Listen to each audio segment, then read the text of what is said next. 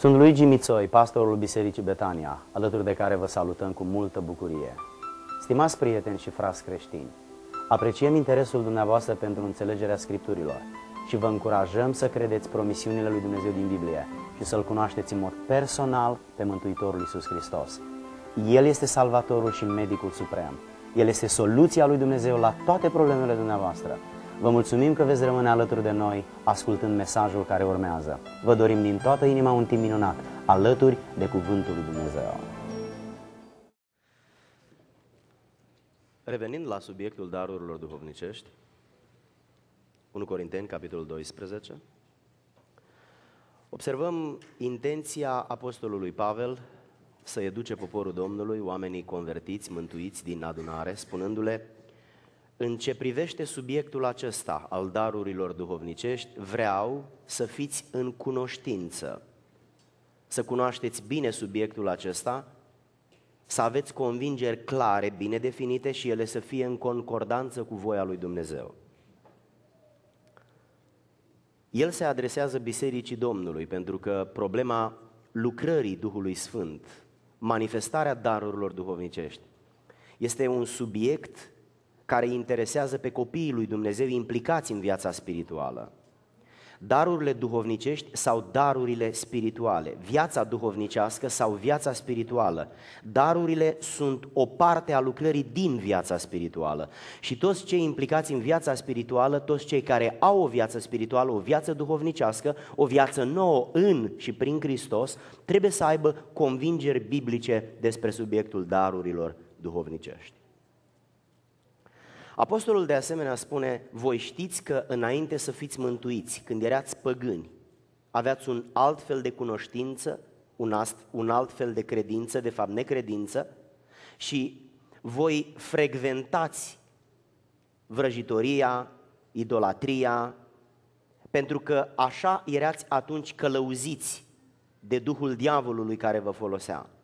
Acum Duhul lui Iisus Hristos este în voi, sângele Lui v-a iertat păcatele. Numele vostru este scris în cartea vieții. Voi ați venit din lume în biserica lui Dumnezeu și acum voi trebuie să deveniți cunoscători și a acestui subiect, darurile duhovnicești, darurile spirituale. Domnul Isus ilustrează darurile Duhului Sfânt cu pilda pe care o spune în Matei în capitolul 25, versetele 14 la 15. Împărăția cerurilor se va asemăna cu un om care, înainte să plece într-o altă țară, a chemat pe robii săi, le-a încredințat avuția sa. Unuia i-a dat cinci talanți, altuia i-a dat doi talanți și altuia i-a dat un talent. Fiecăruia i-a dat după putere. Câtă umilință trebuie să aibă cel cu, trebuie să aibă cel cu un talent să nu îl invidieze pe cel cu doi.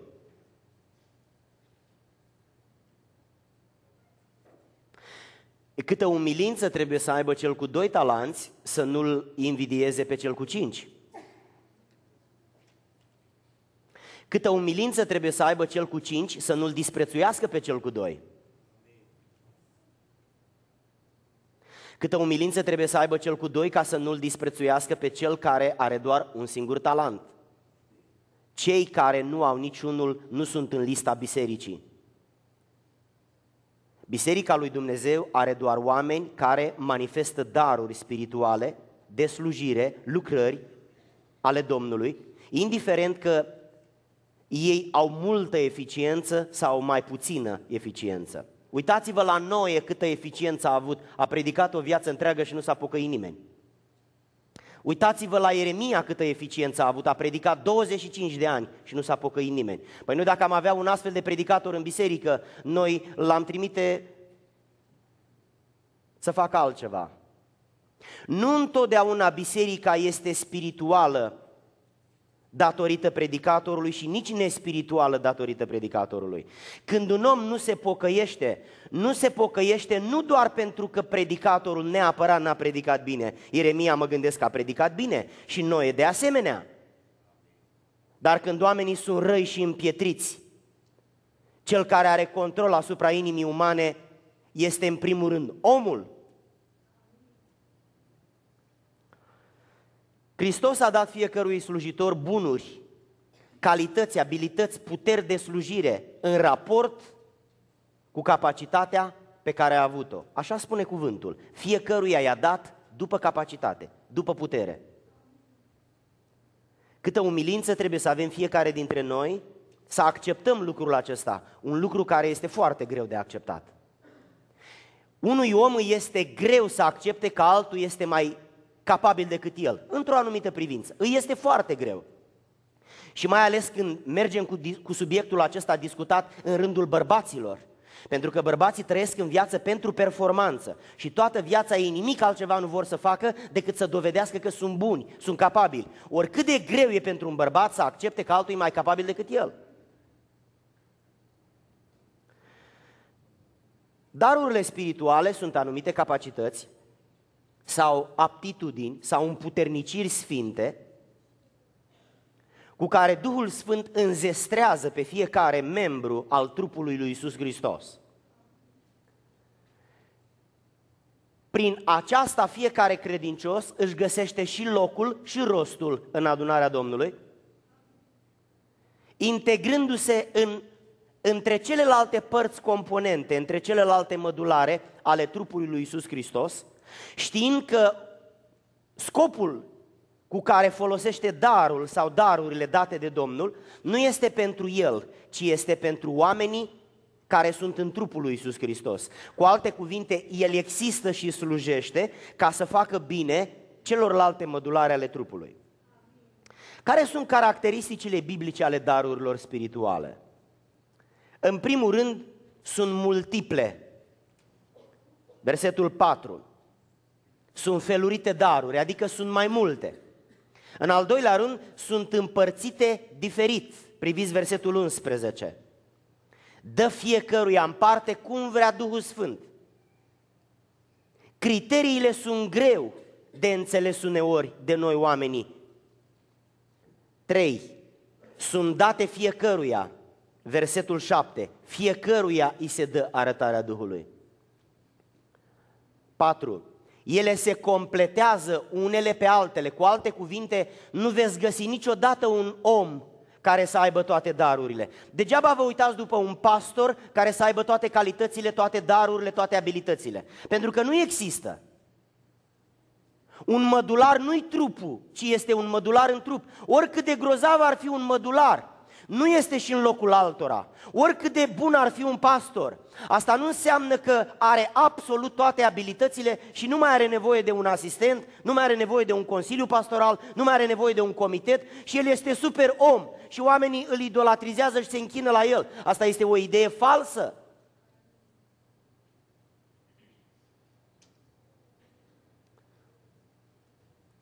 Cinci. Darurile contribuie la unitatea bisericii. Ele manifestă puterea lui Dumnezeu. Slujbele manifestă autoritatea lui Dumnezeu. Roada manifestă caracterul lui Dumnezeu. Darurile manifestă, deci, puterea lui Dumnezeu și contribuie la unitatea bisericii.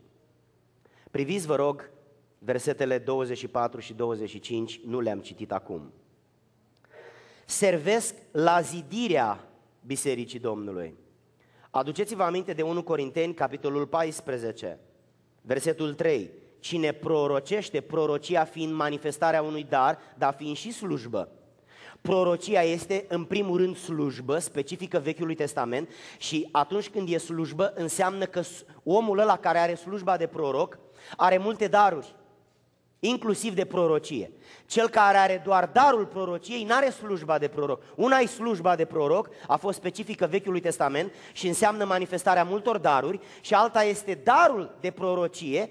Asta înseamnă că omul are doar darul acesta și e specifică Noului Testament. Sunt foarte multe lucruri care fac diferența între slujbă și dar. Și dacă nu le stăpânim, atunci le încurcăm foarte tare. Priviți, Cine prorocește din potrivă, vorbește oamenilor spre zidire. Prorocia nu doar aduce cunoștință, lucruri din partea lui Dumnezeu pe care noi nu le știm. De multe ori ne zidește pentru că confirmă ce știm noi. Și noi nu numim asta prorocie, spunem, a, păi ce vorbește Domnul, că asta o știam și eu. De câte ori a spus Dumnezeu în Vechiul Testament, pocăiește-te? Nu știa poporul să se pocăiască. Știa. Și atunci Dumnezeu de ce repetă prin prorocie? Pentru că atunci când Dumnezeu vorbește printr-un om, se numește prorocie. În afara faptului că omul acela citează din cuvânt pe poziția de predicator. Dar și predicatorii prorocesc mult în timpul predicii. Nu știm cât din predică este prorocie, ideal. S-ar putea să nu fie nimic prorocie, s-ar putea să fie o afirmație prorocie, s-ar putea să fie o parte din predică prorocie. Predicile inspirate conțin prorocie. Apoi, darurile duhovnicești nu slujesc pentru zidire personală, excepție făcând darul vorbirii în limbi. Toate celelalte sunt pentru zidirea altora. Darul în limbi este singurul care zidește persoana. De aceea este ideal să avem darul acesta. Nu trebuie confunda semnul vorbirii în limbi cu darul vorbirii în limbi. Sunt două lucruri diferite. Semnul vorbirii dă autenticitate și valoare botezului, care e unic. Prima umplere se numește botez, dar e nevoie de reumpleri, de reumpleri.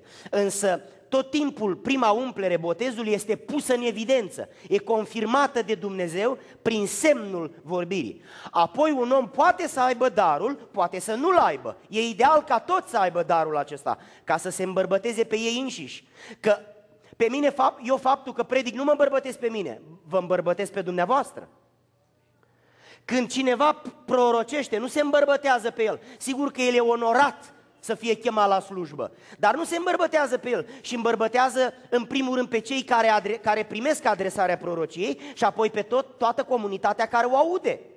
Când auzim că între noi e predic, se predică Evanghelia, noi ne bucurăm. Când auzim că Dumnezeu vorbește prin proroc, noi ne bucurăm. Când auzim o vedenie sau mărturisirea unui vis, noi ne bucurăm. Asta înseamnă că Dumnezeu lucrează în popor. Diavolul nu e interesat de predică, de prorocie, de vedenie și de vise.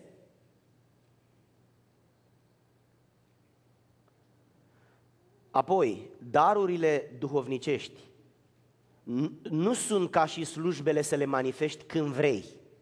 Nu te poți duce la un om care are darul de prorocie și să spui, frate, prorocește-mi, spune ce spune Domnul. S-ar putea ca Domnul să-i spună ceva, s-ar putea să nu-i spună nimic. Eu pot să predic cuvântul oricând am ocazia să-l predic. Dar un proroc nu poate să aducă un mesaj profetic de la Dumnezeu când vrea el, ci numai când îi dă Duhul. Între slujbă și dar e o foarte mare diferență. Noi luăm exemple ale slujbei de proroc din Vechiul Testament, atenție, și le dăm exemplu ale darului prorocului din Noul Testament. Și aici facem o gafă enormă. Oamenii din Vechiul Testament n-au avut dar de prorocie, au avut slujbă de prorocie. Și slujba de prorocie înseamnă o însumare a multor daruri, inclusiv a celui de prorocie. Și el avea slujbă, adică o făcea oricând era nevoie. În Noul Testament oamenii mai mult, în mod practic, prin biserică, au daruri. De aceea ei vorbesc doar când Domnul le dă să vorbească. Mi-ar place prorocii de la noi din biserică să prorocească mai des, vorbesc omenește, pentru ca să zidească biserica. Dar prorocii nu-și permit la orice rugăciune să spună așa vorbește Domnul, dacă nu vorbește. Ci când îi se dă, spune, când nu îi se dă, nu spune. Eu nu pot să vin ca pastor la Anvon duminica și să citesc textul și la urmă să vă spun, nu mi se dă nimic, ți pe scaun. Ce serviciu divin ar fi ăla? Nu, nu, nu se întâmplă așa nici cu darul de cântare și nici cu darul de adunare a colectei. Darurile spirituale pot fi, în primul rând, capacități naturale pe care omul, cu care omul se naște care sunt amplificate și ridicate la un nivel supranatural de Duhul. Sau pot fi capacități cu totul noi pe care omul nu le-a avut niciodată. Îmi aduc aminte de unul dintre bărbații pe care eu i-am iubit mult, care a direcționat viața mea pe calea Domnului, fratele Trandafir Sandru. El n-a avut niciodată darul de tălmăcire a limbilor. Era unul dintre oamenii, puțini oameni care în biserică știau să traducă din limba engleză cu 20-30 de ani în urmă, poate mai bine. Și a însoțit un predicator din America în multe locuri din România. Nu prea au dormit, au fost o călătorie lungă, foarte obositoare, iar el de felul lui, ca și Timotei, a avut o constituție fizică foarte firavă, foarte slabă. La un moment dat, în timpul predicii, n-a mai putut să traducă, a început să se bâlbâie, nu mai avea capacitatea să se concentreze și efectiv nu mai era în stare să traducă. Tot spunea sorry, sorry, sorry la uh, vorbitorul de limba engleză și acela repeta și uh, oamenii uh, au început să se roage și dintr-o dată, cândva pe la jumătatea predicii, a început să traducă într-o manieră absolut remarcabilă și toată adunarea a simțit că e ceva special la mijloc. Ce s-a întâmplat? Domnul, în această situație, pentru onoarea numelui său, i-a dat acestui slujitor o dată în viață darul tălmăcirii limbilor. Și nu neapărat prin facultățile fizice, prin capacitățile umane a tradus, ci efectiv a tradus prin Duhul. El a mărturisit asta într-o anumită împrejurare. Asta nu înseamnă că un dar îl ai odată în viață. Am dat numai un exemplu că un dar poate fi folosit prin cineva o dată în viață sau de mai multe ori în viață, dar întotdeauna când e nevoie. Niciodată un dar nu sprijinește celebritatea persoanei care îl manifestă. Niciodată nu răspunde anumitor interese omenești, ci întotdeauna este dat să împlinească o nevoie pe care o vede Dumnezeu și pe care vrea să o împlinească Dumnezeu. Darurile nu sunt monopolul nostru, ci este monopolul lui Dumnezeu. El le dă, El le manifestă. Noi suntem doar difuzorul prin care se aude vocea lui Dumnezeu. Vreau să vorbim puțin despre statutul darurilor spirituale. Pentru că noi suntem o biserică pentecostală, o să zăbovim un pic pe acest subiect. Pentru ca să ne împrospătăm cunoștința din Scriptură despre lucrul ăsta. Statutul darurilor spirituale, în primul rând, darurile spirituale nu sunt o recompensă sau un premiu pe care Dumnezeu îl acordă cuiva pentru merite spirituale. Avem tendința să ridicăm în slăvi pe cei care primesc de la Dumnezeu daruri și le manifestă în adunare. Oamenii ăștia trebuie apreciați, oamenii, pentru oamenii aceștia trebuie să ne rugăm, dar nu trebuie să-i ridicăm în slăv, că le facem rău. Îi ajutăm să se mândrească și să-și piardă darul. Ei trebuie încurajați, Trebuie să ne rugăm pentru ei, dar să nu le dăm senzația că sunt niște supersfinți, pentru că darurile spirituale nu sunt o premiere a unor merite personale, ci sunt un dar, darul dar. Doi, nu orice creștin manifestă daruri spirituale, ci numai cei care sunt robi ai stăpânului. Stăpânul n-a chemat concetățenii lui, oamenii din localitate, să le împartă talanți. A împărțit talanți doar la robii care se subordonau autorității lui și care trăiau în perimetru proprietății lui. Oamenii din proprietatea lui, din împărăția lui, doar acelora le-a dat talanți. Să nu vă așteptați să aibă daruri oameni care nu vin la adunare, oameni care n-au o viață de rugăciune, oameni care nu luptă pentru unitatea bisericii, oameni care tot timpul sunt în afara intereselor bisericii locale. Cum ar da Dumnezeu daruri unei astfel de persoane?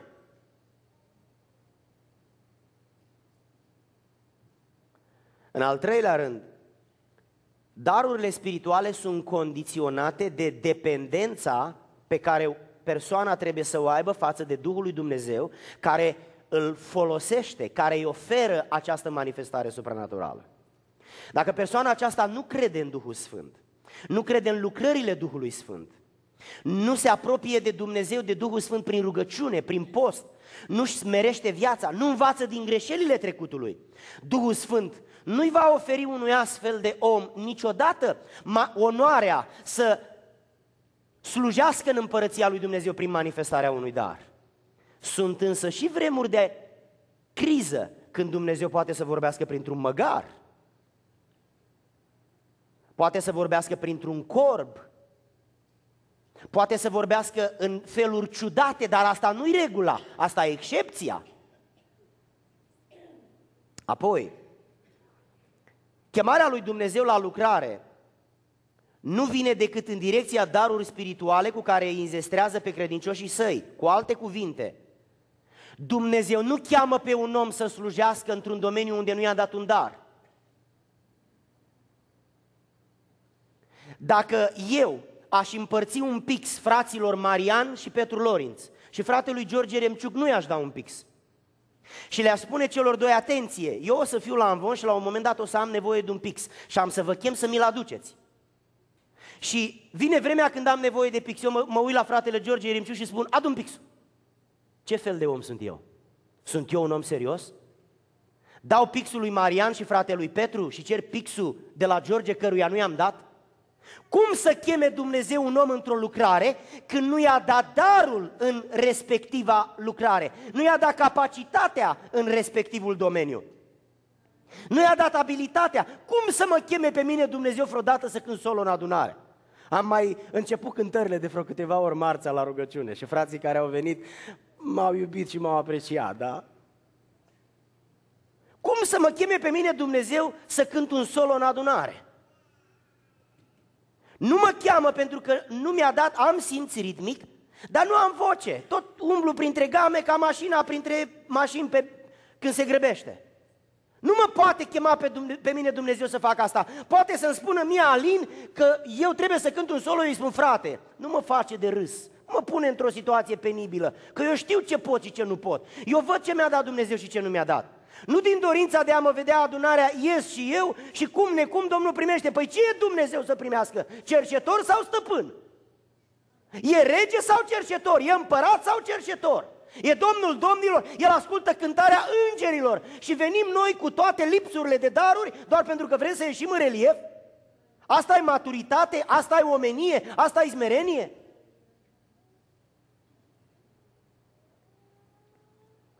Chemarea lui Dumnezeu pentru un bărbat sau pentru o femeie, tot timpul e în domeniul darurilor pe care omul le are.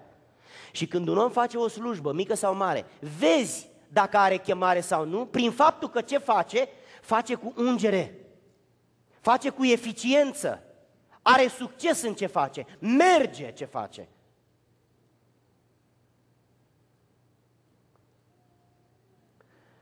Darurile se întâlnesc în intensități diferite, în grade diferite, variate, adică evangeliștii între ei, unii sunt mai eficienți, alții sunt mai puțin eficienți, predicatorii între ei. Asta nu înseamnă că predicatorii mai slăbuți nu au darul de a predica. Au darul de a predica, dar îl au după puterea dată de Domnul lor. Nu predică de cinci talanți, predică de unul. Asta nu înseamnă că cei care nu recită extraordinar ca un super poet nu au darul de a recita. Nu recită de cinci talanți, recită de doi. Una este să nu te pricep deloc și alta este să nu predici ca Billy Graham, e adevărat, nu predic ca Billy Graham. Darurile nu întotdeauna se manifestă la superlativ, pentru că, nu pentru că nu sunt ele întregi și suficient de divine, dar trec prin omenesc și tot ce trece prin omenesc se contaminează. Se strică, se crapă. Că omul e om. Unde e un om e și două greșeli. Spunea Billy Graham, nu există biserică perfectă, iar dacă totuși ai găsi una când tu devii membru ei, încetează să mai fie perfectă. Biserica e perfectă pentru că e Dumnezeu în ea și este imperfectă pentru că sunt oamenii acolo. Noi nu aducem perfecțiune prin prezența noastră, ci imperfecțiune. Pentru că biserica e un spital unde Dumnezeu te tratează de păcat în perspectiva însănătoșirii în neprihănire.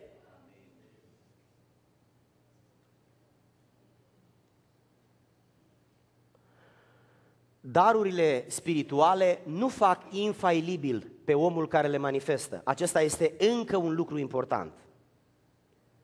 Darurile spirituale nu-l fac pe omul care le manifestă fără greșeală. Adică, orbește să asculți un proroc că a vorbit Domnul. Fraților, nu faceți greșeala asta. Orbește să asculți un predicator că așa a vorbit Domnul. Fraților, nu faceți greșeala asta. Orbește să asculți pe cineva care are un vis, o vedenie sau o sfătuire, pentru că așa a vorbit Domnul. Fraților, nu faceți greșeala asta. Cercetați toate lucrurile.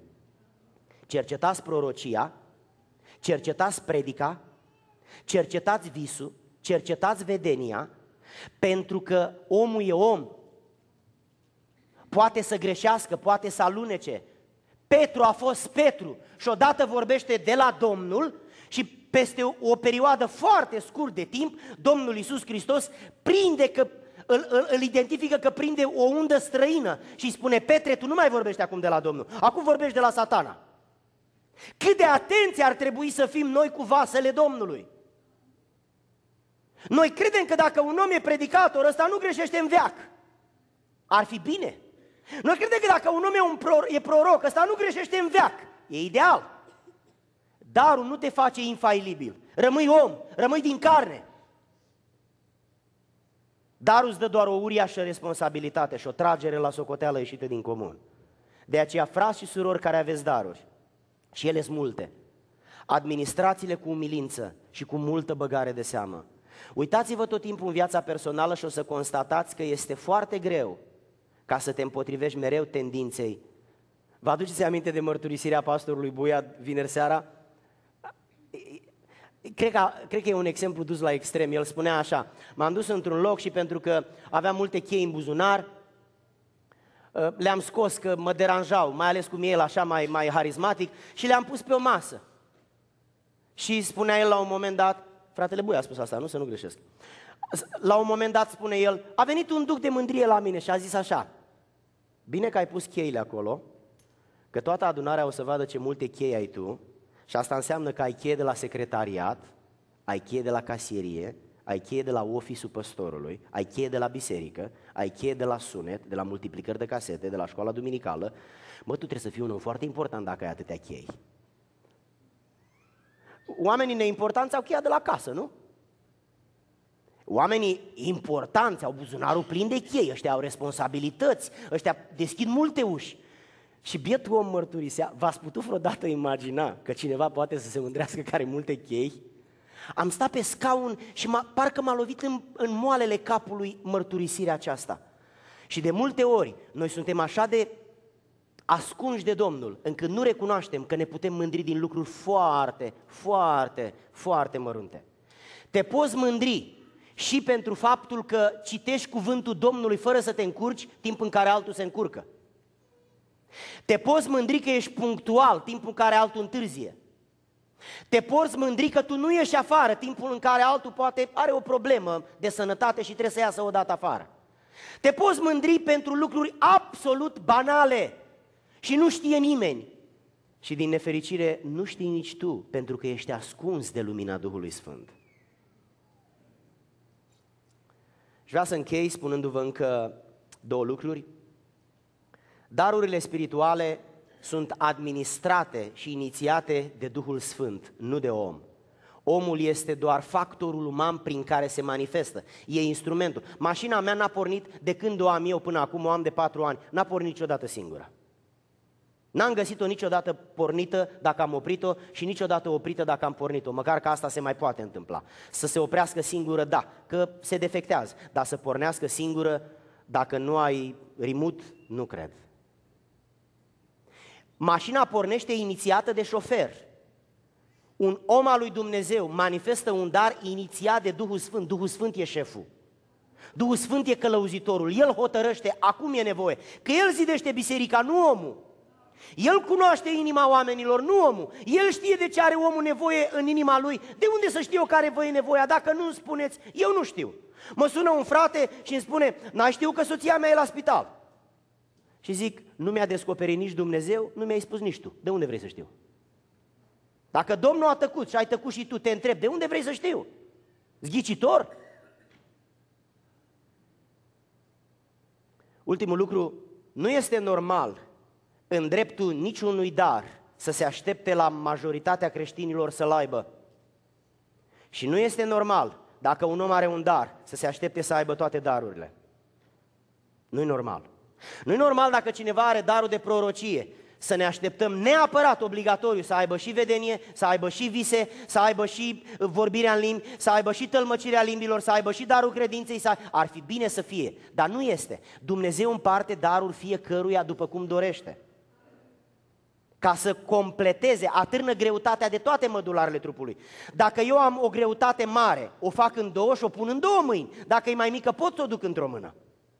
De asemenea, nu-i normal să ne așteptăm la toți creștinii să aibă același dar. Niciun dar nu-l are toți creștinii, ci Dumnezeu împarte fiecăruia după cum dorește. Aș vrea în această dimineață să privim la noi și să ne întrebăm, stăpânul a plecat într-o călătorie și se va întoarce. Câți talanți mi-a dat? Unde sunt talanții? Toată predica nu are valoare nici cât 0.1 dacă nu răspundem la această întrebare.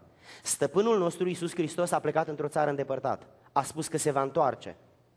Însă ne-a administrat nouă capacități să slujim în proprietatea Lui, în ferma Lui, în compania Lui, în împărăția Lui.